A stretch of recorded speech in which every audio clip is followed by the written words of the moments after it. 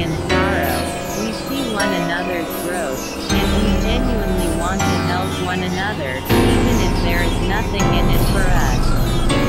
Empathy is the ability to connect with others at the level of the heart and the spirit. Learning to develop empathy requires that we develop a conscience and a consciousness outside of ourselves. We develop care and some cases even love for people without wanting anything in return. Empathy helps us to meet each other where we are. There is a paradox here. We need to develop empathy and concern for others, and to let go of self-obsession without losing sight of ourselves. We can swing from one extreme to the other, from self-obsession to self-neglect and then back again.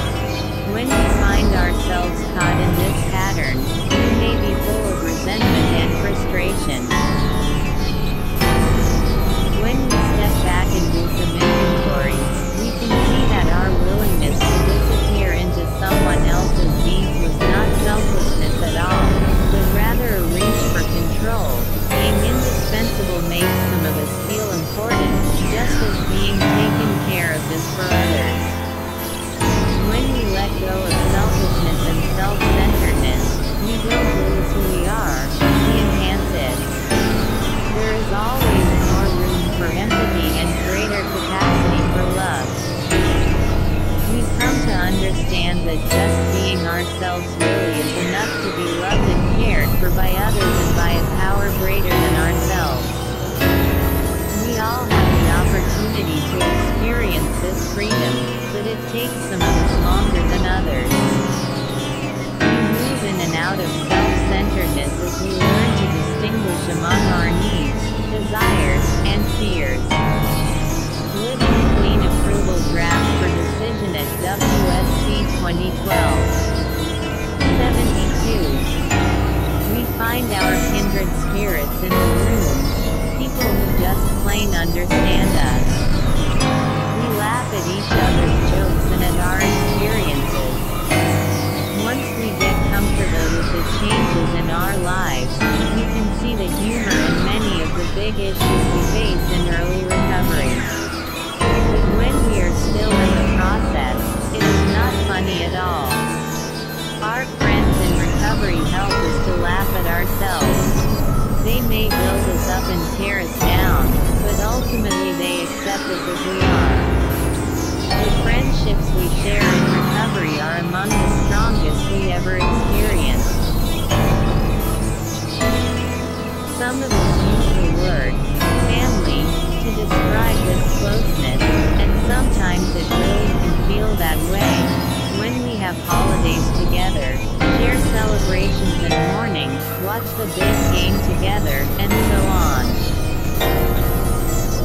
One member suggested that a home group was like a family not only in its closeness, but also because we don't get to pre-select its members. Some are really difficult, she said, but they're ours, and we love them. Some of who have relatives who are in the rooms or are involved in our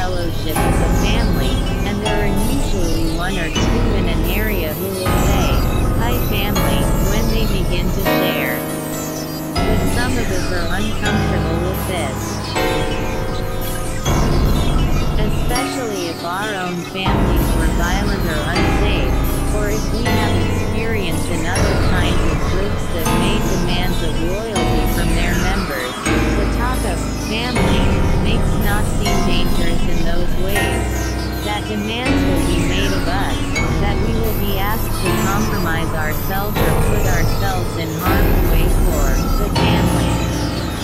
To some of us, it's not threatening at all, it just sounds a little cheesy. We may not even have language to describe the kinds of connections we have in Na, especially after we have been around for a while. With each other through the day-to-day struggles of our lives, romance and heartbreaks, births and deaths. Our sense of connection deepens into kinship. We may not always have the kind of intensity in our relationships that we do in our first few years, but the depth that grows in its place is also beautiful. When those people who are part of our early recovery part of our lives, time adds something to those relationships that nothing else can. We have long friendships that have weathered terrible storms, people we see twice a year but who pick up where we left off as if no time has passed, people who save our lives and we don't see them again for a year or a decade, people who are woven completely into our daily lives. Are deep emotional connections that exceed what we think of as friendship but don't quite match what we mean by family, either. As we stay clean and build long-standing relationships, we experience a kind of safety we could not have imagined before. We know one another as well as anyone knows us. We have watched each other grow up and grow old, lines on one another's faces we see the laughs and struggles we have shared over all that time. We may be incredibly close at some times and further apart at others, but there is something about just knowing we have each other that makes us feel a little less alone in the world. That love and connection feels as deep as any we have experienced. Living Clean Approval Draft for Decision at WSC 2012. Chapter 5 Relationships 73 the ways that we love in recovery can be intense and beautiful. We learn to love others, not just our fellow addicts, but our families and those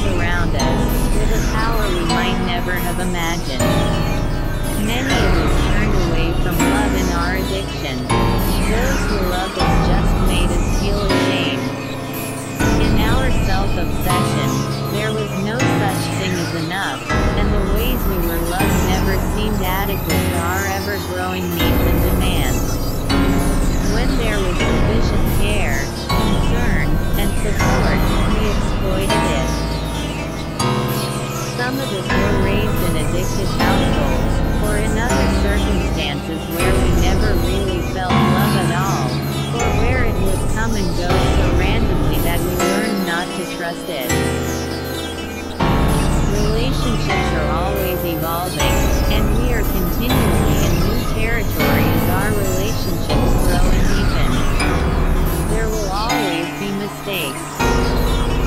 Being able to recognize errors, clean them up, and move on is the gift of the 10th step, and it's not just that we are able to keep small problems from getting bigger.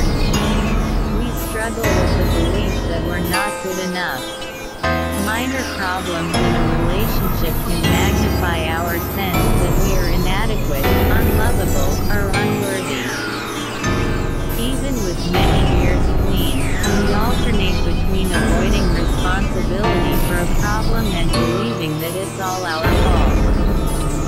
Surrender frees us from the feeling that we must constantly make up for being so awful. We can deal with our part, surrender, and let go of the rest. Accepting that we make mistakes and that they are not the end of the world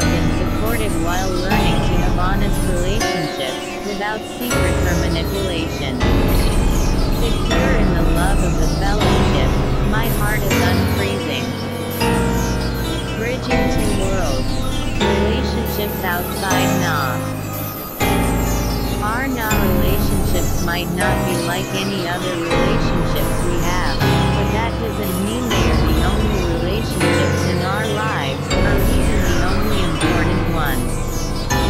We have family and friends outside the fellowship.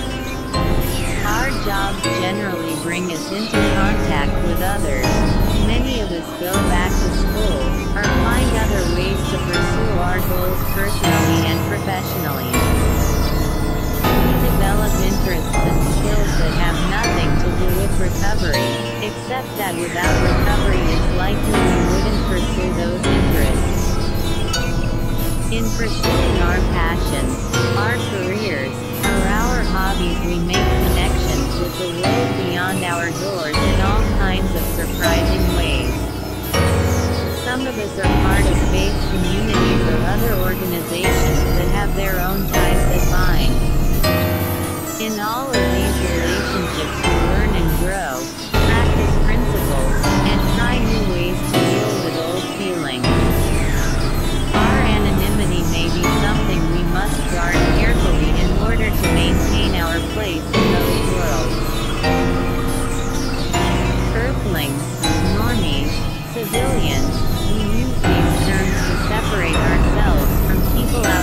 the rooms and mistakenly reinforce our own alienation.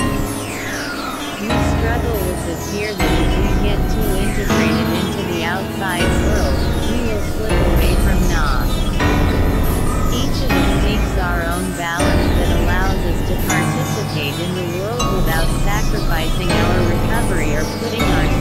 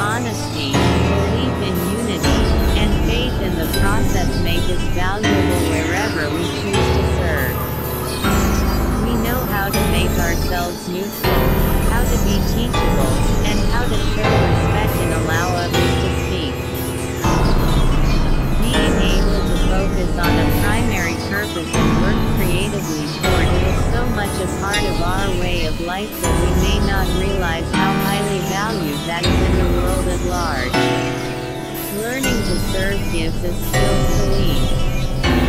But it's in our relationships inside Na that a particular kind of work happens, and that's one of the reasons that it is so important for us to plug in to the fellowship.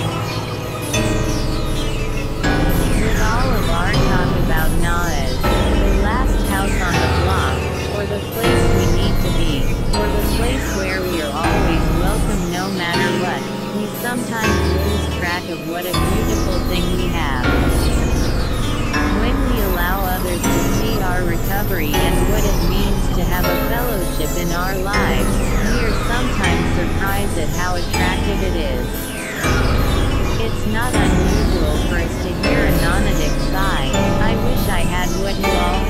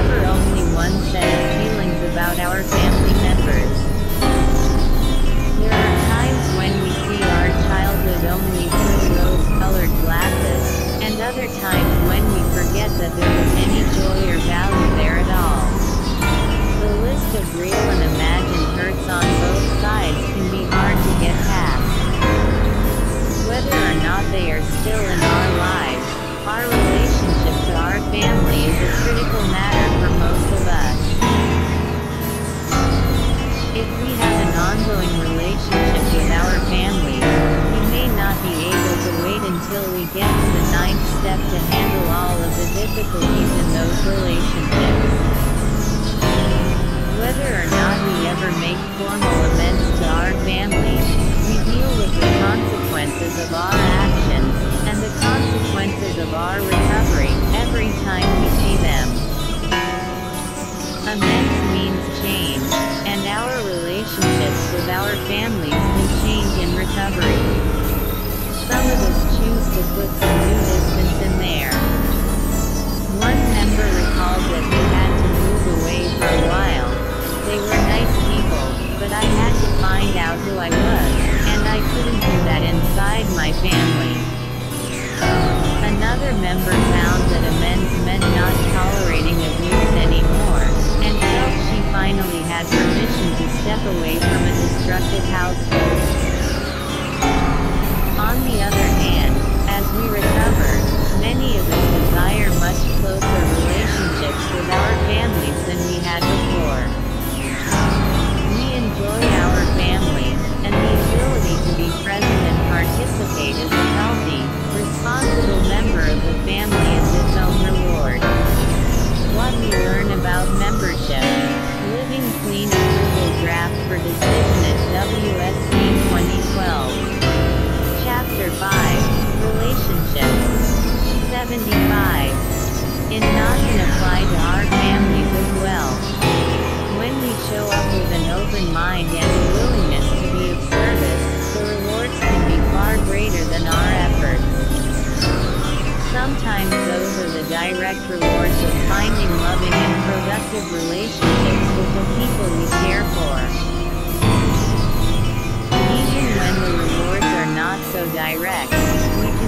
over time.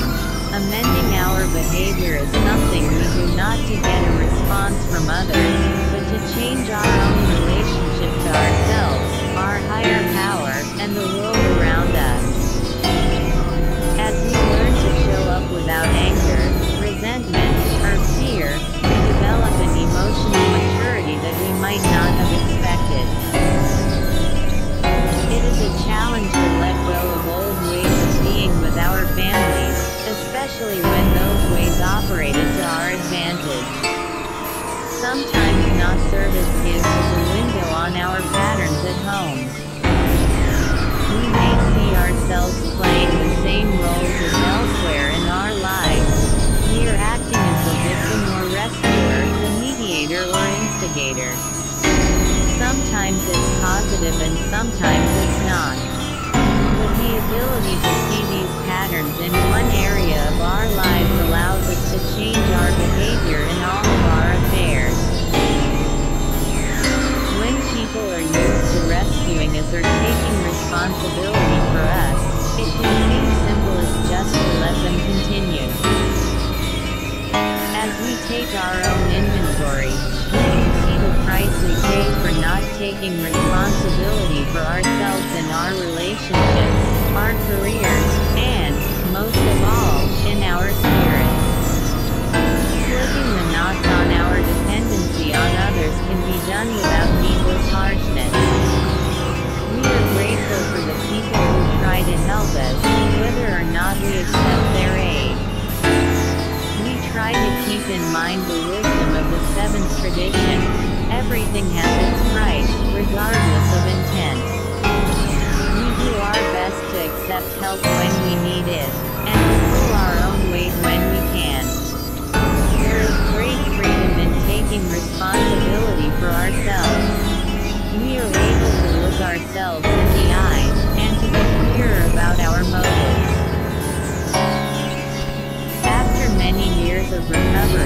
A member found herself in the position of caring for her parents, with whom she had had a hard time as she was growing up. Recently it has become clear how human and fragile they are, she said. My feelings get hurt when my dad doesn't know who I am anymore, but in the larger picture it doesn't matter, because I remember who he is. Some of our hardest moments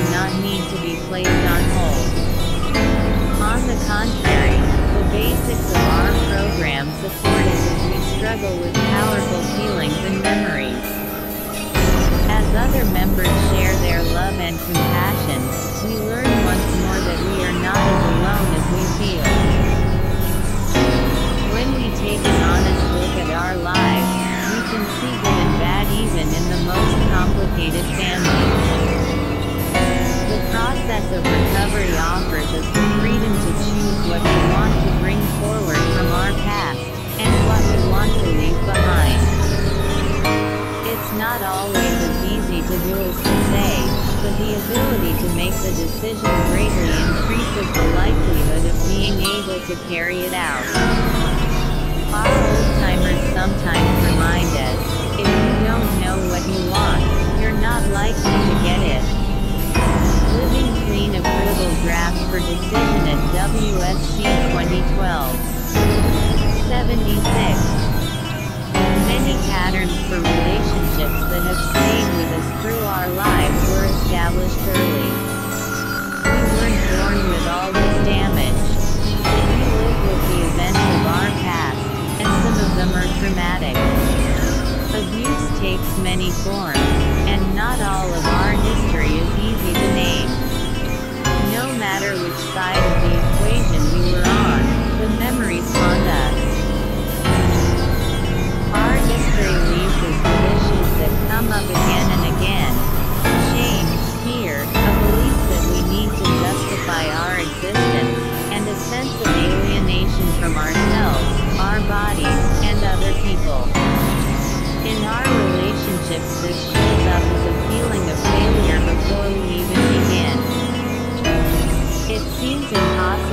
is to have a healthy, loving relationship. The first sign of friction or tension seems to prove our worst suspicion. We escalate or walk away before our fears have a chance to come true, or we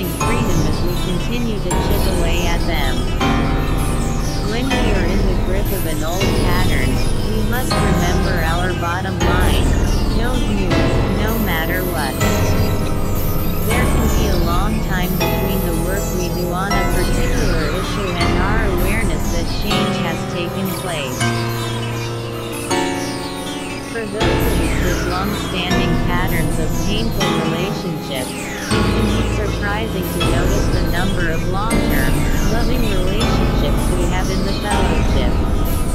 Love sneaks up on us. The very fact of that love, and its undeniable presence in our lives, does its own quiet work healing the wounds that nothing else seems to reach.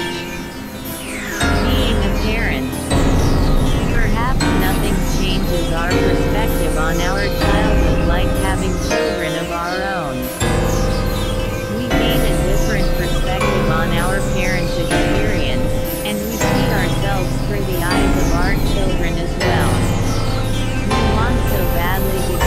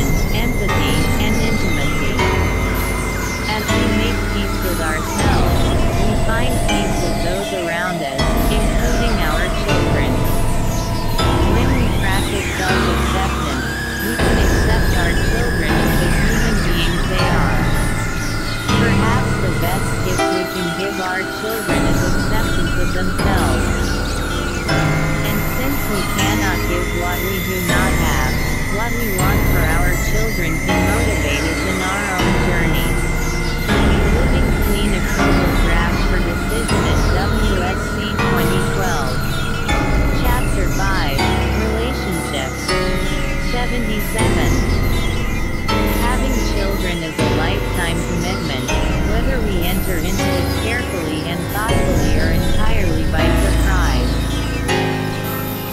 One of the things that distinguishes parenting from other relationships in recovery is that it is constant.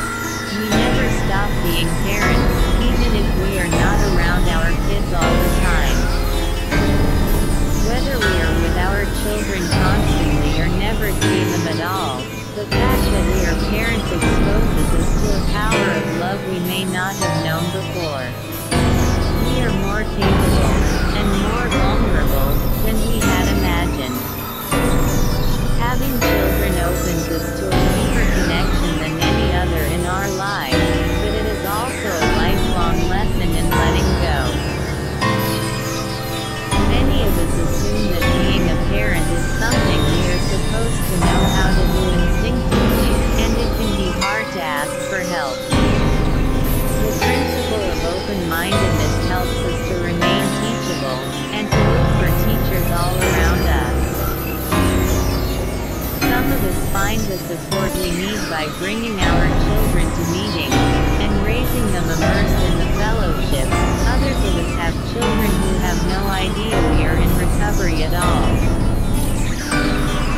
Whatever choices we make about how our families and fellowship intersect, we know that the skills we learn in recovery make us better parents, partners, and children to our parents at any stage of our lives.